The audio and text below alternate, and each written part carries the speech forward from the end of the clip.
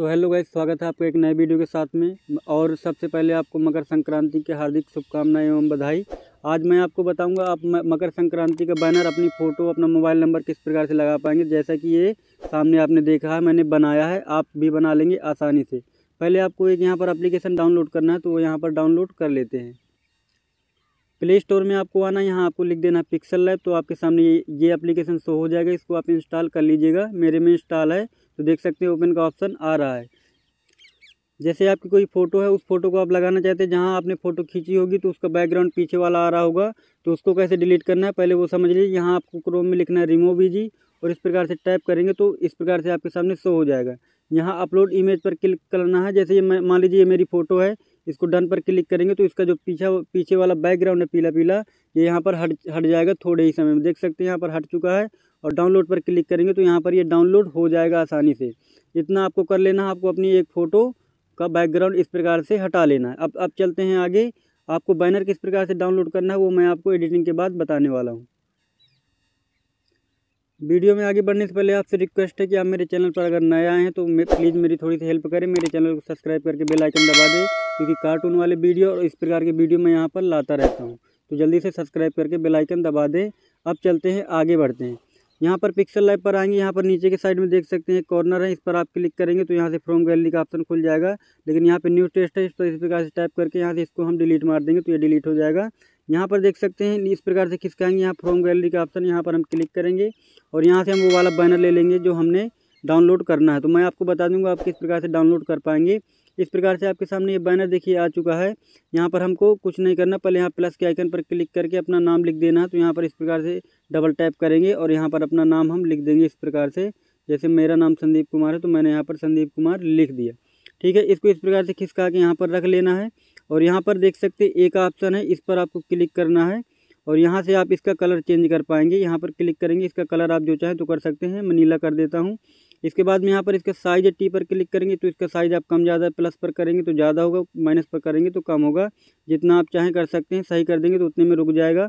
इसके बाद में यहाँ पर और आगे आएँगे, यहाँ पर ए बी का ऑप्शन है तो यहाँ से आप अपना फ़ॉन्ट बदल सकते हैं, जो आपको फ़ॉन्ट अच्छा लगे, वो आप यहाँ पर फ़ॉन्ट ले सकते हैं। जैसे कि मान लीजिए मैं यहाँ पर ये वाला फ़ॉन्ट ले लेता हूँ। ठीक है, ये वाला फ़ॉन्ट मैंने यहाँ पर ले लिया और आप दूसरा भी कोई फ़ॉन्ट चाहें तो वो भी आप यहाँ से ले पाएँगे जैसा आपको ठीक लगे, वैसा फ़ॉन्ट आपको यहाँ पर मिल जाएगा। इस प्रकार से यहाँ पर और आगे बढ़ेंगे तो यहाँ पर देख सकते हैं स्ट्रोक का ऑप्शन है, यहाँ पर आपको इनेबल करना है, इसके बाद में इसका स्ट्रोक जो आप चाहें तो वो लगा सकते हैं। यहाँ पे जिस कलर पर टाइप करेंगे तो वो स्ट्रोक यहाँ पर बगल में लग जाएगा, इस प्रकार से आपको लगा देना ठीक है। इस प्रकार से आपका एक यहाँ पर इस प्रकार से इसको एडजस्ट कर देना है, जैसे आपको ठीक लगे उस हिसाब से। इसके बाद में यहाँ पर फिर प्लस पर क्लिक करेंगे और यहाँ से टेस्ट पर क्लिक करेंगे और अपना मोबाइल नंबर हम डाल देंगे। जैसे कि मैं यहाँ पर अपना मोबाइल नंबर डाल देता हूँ।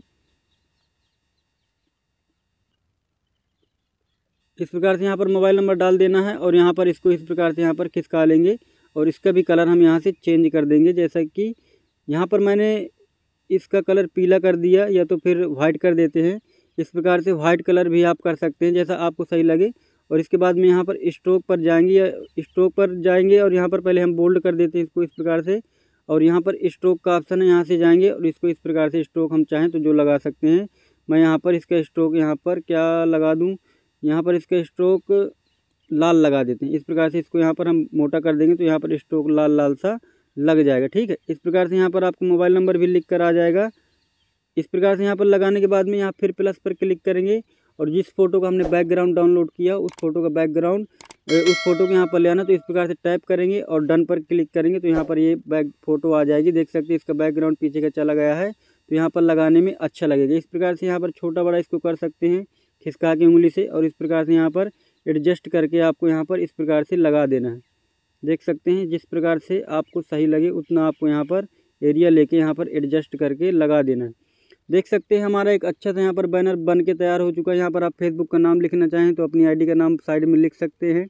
तो आपका एक बैनर यहाँ पर बनकर तैयार हो जाएगा बहुत ही आसानी से। अब अब अब आपको मैं इसका लिंक बताऊँगा, लेकिन आपको एक चीज़ ये बता दूँ कि अगर मेरे चैनल पर नए हो तो मेरे चैनल को सब्सक्राइब करके बेल आइकन दबा दें, दबा लें, क्योंकि ऐसी वीडियो मैं लाता रहता हूँ। और आपको इस बैनर का लिंक मेरे डिस्क्रिप्शन पर मिल जाएगा तो आप वहाँ पर डिस्क्रिप्शन के लिंक पर क्लिक करेंगे तो तुरंत आपके मोबाइल पर यह बैनर डाउनलोड हो जाएगा। और आप ये वीडियो देख के आसानी से बना पाएँगे। अगर वीडियो में आपको कोई चीज़ नहीं समझ में आई तो मुझे कमेंट करें। अभी टाइम है, मैं आपको दूसरा बैनर बनाकर दिखाऊँगा।